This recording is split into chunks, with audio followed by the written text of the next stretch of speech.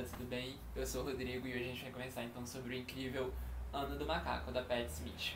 Bom, o Ano do Macaco é o livro da Pat Smith publicado tanto aqui no Brasil quanto nos Estados Unidos. Ele saiu recentemente pela Companhia das Letras e, enfim, vamos conversar um pouquinho sobre esse livro. Para quem não conhece o trabalho da Pat Smith, Pat Smith é uma cantora de rock, ela foi muito famosa nos anos 70.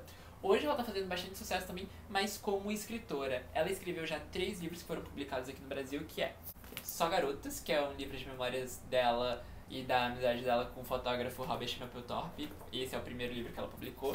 Linha M, que é um livro de memórias também, né, e que fala um pouco da vida dela atualmente. Esse livro é maravilhoso, gente. Devoção, que é um livro sobre escrita e memórias de escrita e tudo mais. E agora, por último, o Ano do Macaco, né? Então, sobre o que é que a gente vai acompanhar aqui no Ano do Macaco? Bom, aqui no Ano do Macaco a gente vai acompanhar a Pat Smith então ao longo de 2016. 2016 no calendário chinês é o ano do macaco e também é o ano em que a Pat Smith iria completar 70 anos. E o ano da Pat Smith começa, né, 2016 começa com muita coisa acontecendo, nos shows de fim de ano e tudo mais. Um grande amigo dela acaba sofrendo um acidente ali e fica hospitalizado. E um outro amigo dela, que é o Sam Sherpad, que é um autor também, acaba também passando por sérios problemas de saúde, enfim. E além disso tudo, na vida da Peste, tá acontecendo as eleições presidenciais dos Estados Unidos, no qual o Trump foi eleito. Um bilhão de coisas acontecendo na vida dela, então a gente vai acompanhar aqui um passeio na vida de Pat Smith em 2016. Bom, esse livro começa com ela hospedada ali num hotel na Califórnia, e o livro já começa de uma maneira estranha, né? De uma maneira muito onírica, que é o seguinte, a Pat Smith está lá e do nada a placa do hotel fala com ela e então a gente vai acompanhar diálogos bem doidos, assim, dela conversando com placas, de ela tendo sonhos.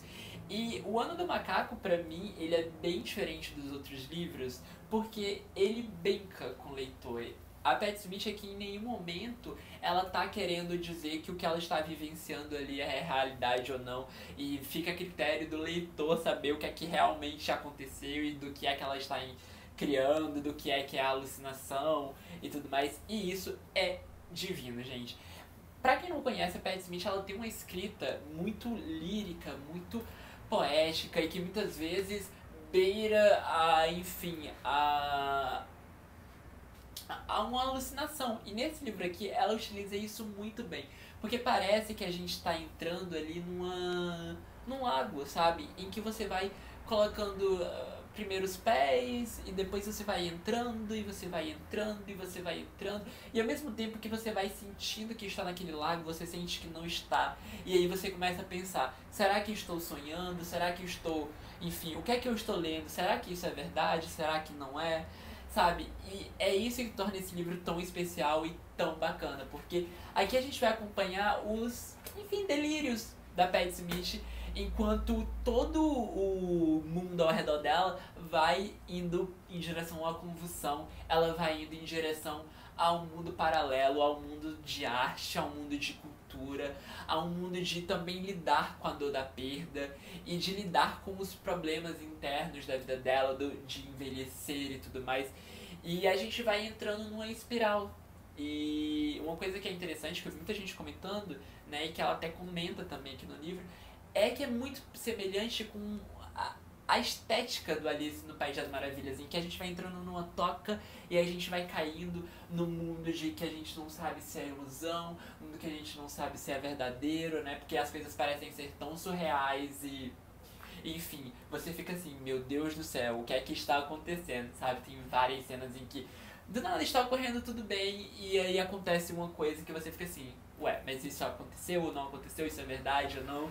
E isso é muito legal. A sensação que eu, eu até comentei no meu vídeo de devoção, que a sensação que eu tenho ao ler os livros da Pat Smith, né, principalmente depois do Linha M, é de que eu estou muito chapada e de que eu estou lá, tipo, sabe, num, numa coisa que eu estou flutuando. E de que as palavras dela vão, vão me agarrando e me agarrando. E vão me levando para um mundo de sonhos. E também ao mesmo tempo um mundo de pesadelos, ao mesmo tempo que a linha entre esses dois mundos, é, entre o mundo dos sonhos e o mundo real, é muito pequena e muito curta. E de que a arte muitas vezes serve para a gente lidar com os nossos problemas de uma, de uma maneira melhor e de como é importante em momentos de crise a gente ter uma, uma coisa para nos ancorarmos, sabe? E é isso que a Pat Smith faz aqui no Ano do Macaco, porque o ano de 2016 para ela foi muito pesado, sabe?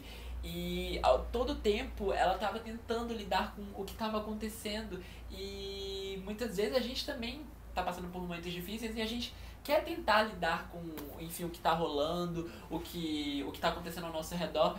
E a gente precisa arrumar um jeito de lidar com isso. Muitas vezes a gente é, arruma vícios, ou a gente entra numa solidão extrema, numa depressão extrema, ou muitas vezes a gente tenta se desligar do mundo e criar um mundo paralelo para se sentir confortável. E é isso que a Pat Smith faz aqui nesse livro. Né? Ela nos mostra esses três mundos que podem estar existindo em momentos de crise e de que a gente precisa seguir em frente, porque como os problemas acontecem, eles também passam e de que tudo na vida é como se fosse o mar que vai levando a gente, sabe? Tipo, ele puxa um pouco para depois devolver de novo, sabe? E Gente, é incrível, é incrível. Assim, me surpreendeu muito porque Os Garotos é um livro genial, é um livro divino, é sublime.